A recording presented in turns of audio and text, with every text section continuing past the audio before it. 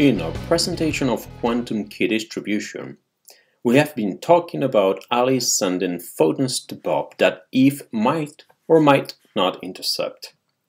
But there is something inconvenient with this.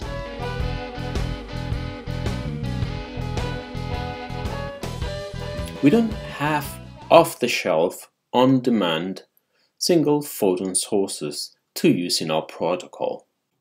If we have a source of light that sends pulses of photons and those pulses contain more than one photon, this is a source for Eve to get information without Alice and Bob knowing it. Imagine one of those pulses contains two photons and Eve does her attack by being in the middle and detecting Alice's photons and then send those photons to Bob. If that's the case, a two photon poles that encounters a beam splitter, if they are of the same basis beam splitter and photons, both photons will hit the same detector. But if the beam splitter is of the opposite basis as that of the photons, the beam splitter can send each photon to a different detector. This way Eve would know that she had the wrong basis because both clicked at the same time, and she will not send that pulse to Bob, reducing that way the cases of wrong basis choice. Bob will only miss that pulse but will not know that Eve was there. If a pulse has three photons, even better for Eve. But there is more to this. Imagine Eve doesn't measure the photons directly, but instead places a beam splitter in the way. This is called the beam splitter attack. If a pulse contains two photons, one might go straight ahead to Bob, while the other is reflected and goes to Eve. Then the same information that will be detected and measured by Bob will also be detected and measured by Eve, and nobody will know one of the photons was lost. This introduces more danger to the communication. The way most QKD setups are designed use attenuated lasers, pulsed lasers whose intensity is attenuated to the single photon level. That means that, on average, there is less than one photon per pulse. But pulsed lasers emit in a Poissonian distribution. In a Poissonian distribution, the probability that one pulse contains n photons is given by the mean photon number to the power of n over n factorial times e to the power of minus the mean photon number. The higher the mean photon number, the more likely to have photons, several photons in one pulse. So this bell-like curve shifts to the right.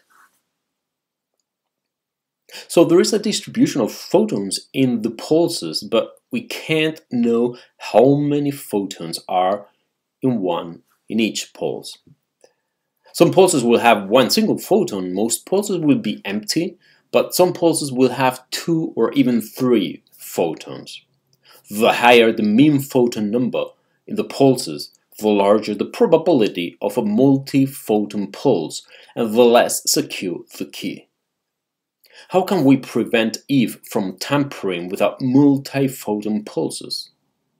Well, there is the so-called decoy state protocol.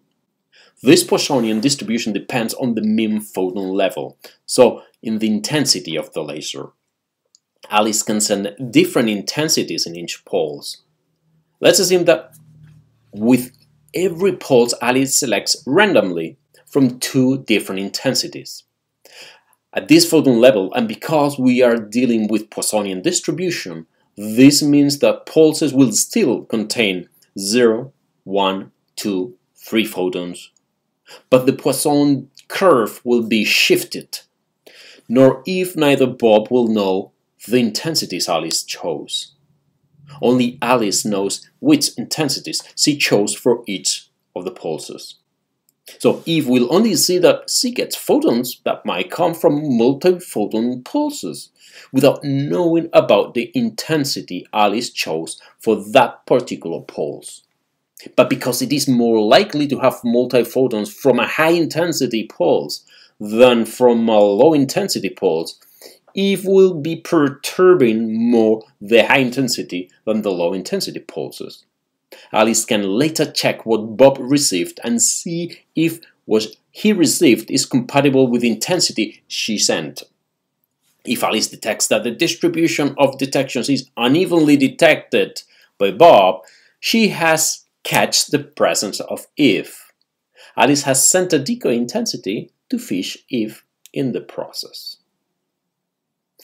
Nowadays, most QKD protocols, those that are using lasers as a source of photons, are using this decoy method to prevent this beam splitter attack.